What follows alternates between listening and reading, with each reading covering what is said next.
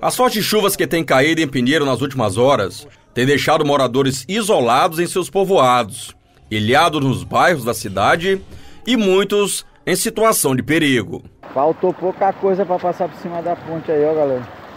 Olha aí, Raimundo. Cuidado, Raimundo, que ali na frente tá perigoso, meu irmão. Cuidado. É muita água, menino. Olha aí.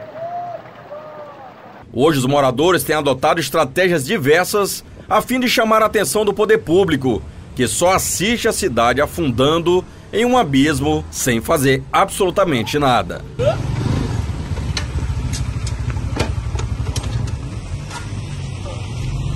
Vamos inaugurar a nova pista de motocross e rally do bairro da Matriz. Ela fica aqui, ó, na Rua da Independência. Não podemos cair na lorota do Tiririca que disse que pior do que tá não fica, porque em Pinheiro a coisa tá é feia. Em outros pontos, a situação se agrava e com o grande volume das águas do Rio Pericumã, famílias começam a ficar sem saída de uma situação que se repete ano após ano.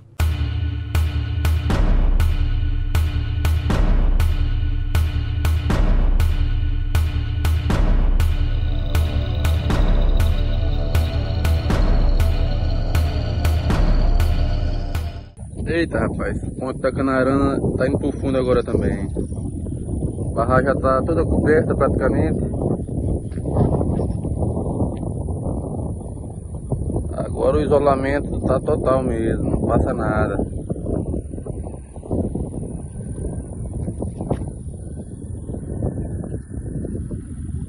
Na entrada da Vila Zé Arlindo, a água está por cima da estrada e o posto recém-inaugurado para fazer a velha mídia está ilhado, sem que os pacientes tenham acesso ao local.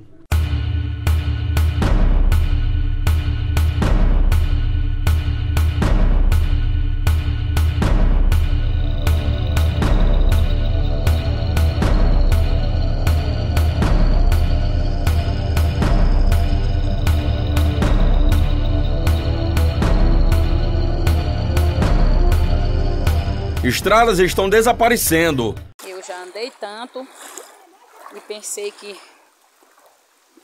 que fosse acabar logo logo, mas tá praticamente de ponta a ponta nessa situação. Então não tem fim. Já vou voltar porque não dou mais conta de andar. Misericórdia. Ó, gente. Meu Deus barragens também cobertas e pontes quase sendo levadas pelas fortes correntezas dos córregos, o que deixa os moradores sem poder sair de seus povoados com segurança. No povoado Macapazinho, a casa dessa família foi invadida e a situação só piora a cada chuva. Olha, gente, aqui é Macapazinhos. Para quem não sabe aqui, para quem conhece, já sabe aqui é a casa de Valdemir aqui no Macapazinho. Olha como tá aqui isso aqui de água. Uma chuva que começou ontem. É... Seis horas da tarde começou essa chuva aqui ontem. E foi... Durou mais ou menos... Durou mais ou menos mais duas horas de relógio. É chovendo. E aí, gente, a gente, quando parou a chuva aqui, era mais, era mais nove da, da noite. Aí a gente foi dormir, que quando nós acordamos, já estava assim aqui dentro de casa. Não deu para para salvar quase nada da chuva, como está aqui dentro de casa aqui, ó. Tudo cheio. Agora são exatamente 6 horas e 10 minutos da manhã.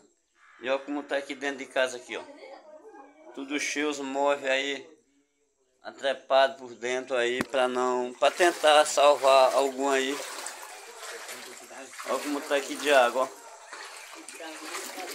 Muita água mesmo, vou mostrar aqui para vocês aqui um pouco aqui. Como tá aqui, ó. Aqui é aqui, ó. Olha como tá aqui. Até minha moto. Que é o meu ganha-pão, né? Que eu uso ela para me trabalhar. Como tá aqui, encheu tudo de água. Não sei se ainda vai prestar ainda, olha como tá aqui. Tudo jogado aqui, ó. Diante da ausência da prefeitura nesses pontos, o jeito é torcer para que o volume das chuvas diminua e todos possam voltar às suas rotinas sem maiores prejuízos. Tá água, menino. Aí. Faltou pouca coisa para passar por cima da ponte. O jeito que tá aqui, ó. A pontezinha aqui que eu filmei aquele dia. Olha o jeito que tá, ó. Me encheu aí, ó.